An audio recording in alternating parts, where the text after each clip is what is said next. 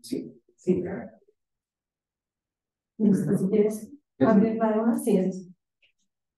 Falta grande. Sí. Ya Cristina, ahora sí. Bueno, pues mi nombre es Cristina Rubio, yo estoy estudiando una maestría en la Universidad Nacional de Colombia, en estudios culturales, y esta ponencia es resultado de, de mi proyecto de tesis, que estoy terminando todavía, pero pues ya son unos pocos avances para, para presentar, y es sobre el proceso de formación en las FARC, es decir, cuando todavía eh, estaban en, en armas, y eh, bueno, pues yo entiendo el proceso de formación desde una perspectiva como muy amplia, como la creación de sujetos, grupos sociales, colectivos y, saberes, que es la definición de esa pues, sociólogo de la también.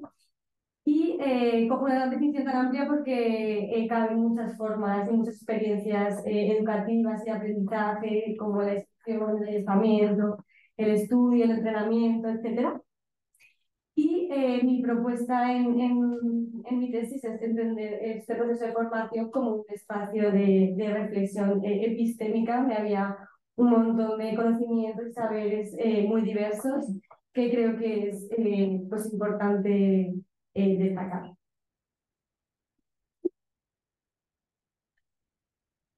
Bueno, eso es. Eh, pero básicamente eh, yo entiendo que, el proceso formativo pues tiene una eh, parte eh, epistemológica que serían sus saberes, los fundamentos, los conceptos que, ellos manejaban para pues mirar eh, la realidad de, Colombia, Latinoamérica, del mundo en general, y luego la parte educativa que sería esa eh, forma en la que se transmitían eh, esos saberes en diferentes formas pues, institucionales de educación, escuelas y, y etcétera. Pues en, en, mi planteamiento eso sería la, esa dimensión eh, epistemológica que serían como las sabidurías eh, guerrilleras y la dimensión educativa. Esa es mi, mi pregunta de investigación, que es pues, cómo esas dos dimensiones conforman ese eh, proceso formativo. Y yo rescato un, un concepto que Cárdenas, que es un investigador, toma de, de Marulanda, que es uno de los eh, fundadores de, de las FARC, que eh, lo entiende como la vida en sí misma como una escuela. Entonces, todos nuestros avances, eh, los éxitos y los fracasos son una escuela para ellos. Entonces, a través de este concepto se conecta el conocimiento y los saberes con pues, la cotidianidad eh, guerrillera. Y eh, este eh, Cárdenas lo, lo, define como un modelo de aprendizaje que, eh, que contribuye a construir ese sujeto histórico y esa identidad guerrillera que, que conformó las FARC. Bueno, eh, pues según mis investigaciones, la preocupación por la formación, por la enseñanza ha sido una constante en las FARC desde, eh, desde su fundación. Empiezan pues con la alfabetización y luego empiezan con historia, geografía, cultura general, historia, con,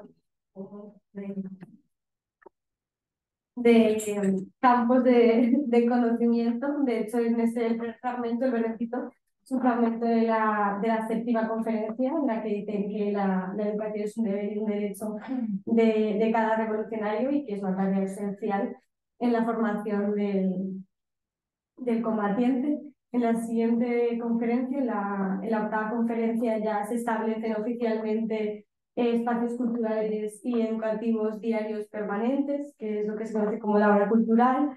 Eh, se formaliza, o se tiene que consolidar la, la formalización de, de, las escuelas y, eh, y esas escuelas también pasan por un, un intento de organizar e institucionalizar pues, en la medida de, de sus posibilidades la presentación de las FARC. Eh, que es otro eh, ex guerrillero, eh, maneja, o sea, sostiene en esta entrevista que tenían esos planes de estudio, eh, que tocaban pues, temas sociológicos, epistemológicos, antropológicos, y se preguntaba mucho sobre qué enseñar, cómo enseñarlo, eh, cuándo enseñarlo y, y cómo organizar pues esta, esta formación y este conocimiento.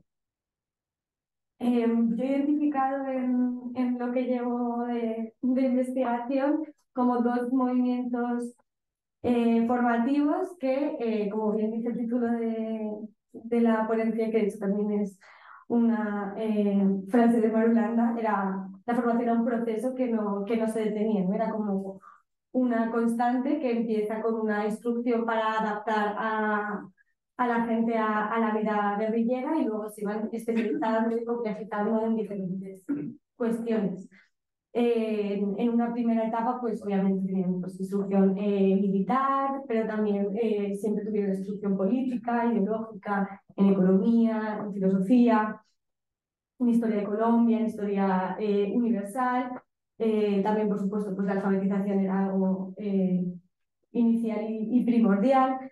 Y también otros aprendizajes prácticos, como por fuera de la escuela, que tienen más que ver con la vida guerrillera, ¿no? Aprender a, a construir las calitas donde dormían, a, construir los campamentos, a cocinar, etc. Entonces, pues yo eh, sostengo que la formación de los FARC es un proceso eh, integral, tanto teórico como, como práctico, donde se aprendía pues, a, a ser guerrillero, ¿no? y a comprender la realidad que se vivía, eh, porque se combatía, etc. Y luego, por otra parte, había otro eh, movimiento que estaba más orientado a la especialización o a la formación profesional de, de guerrilleros en diferentes áreas que eran pues, dentro de guerra desde eh, medicina, enfermería, cartografía, inteligencia, eh, pues un montón de, de, de especialidades que, que, también eran eh, necesarias para ese contexto. La, la educación formal se, se, organizaba como generalmente en, en, las células, luego de forma planificada en varias escuelas, tenían escuelas básicas, escuelas intermedias, eh, escuelas nacionales y los cursos de, de, especialización. Entonces, eso yo hablo de, de, dos movimientos. Por un lado, intentar eh, homogeneizar a, a, los guerrilleros que no supiesen poder escribir para poder eh, seguir formando parte de, de, esas escuelas y seguir en esa em, escalera de aprendizaje. Y por otra parte, pues una especialización de, de oficios y y trabajos que eran pues, diferentes entre los guerrilleros, pero también eran funcionales para, para el contexto en el que se desenvolvían. Eh, bueno, la alfabetización, como he dicho, era, una cosa, era un aspecto muy, muy importante de, de, la formación. Estos son fragmentos de la cartilla de la alfabetización de las FARC.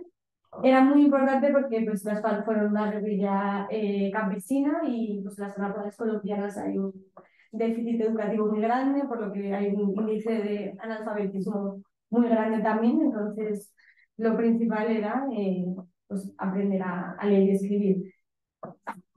Ahí dice que, que, eso, que juntar las primeras vocales, las primeras eh, sílabas, permitía eh, construir los primeros gritos de libertad y ahí inicia la derrota de nuestra ignorancia y comienza nuestra superación y formación personal.